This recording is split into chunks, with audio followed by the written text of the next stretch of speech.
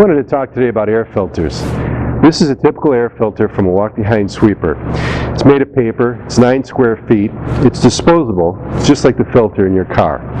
Factory Cat Model 34 sweeper uses this filter. This is 36 square feet. It's a baghouse style filter. It's made of polypropylene felt. There are nine pleats or bags. And it's permanent. You never replace this filter. It'll filter down to one micron, which is one one hundredth the width of a human hair.